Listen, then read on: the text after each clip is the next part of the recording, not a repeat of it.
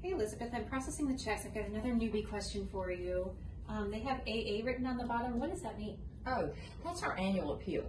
Every August, we ask for gifts to do things like pay employee salaries, pay for the copier, pay for the light bill, and things like that. Oh, okay. Does that include like wire transfers to other countries and our mailings out and updates that we send out? Yeah, all the Oh, okay. all the practical Perfect. aspects for global mission work. Okay, Yeah. thank you. That's super helpful. You're welcome.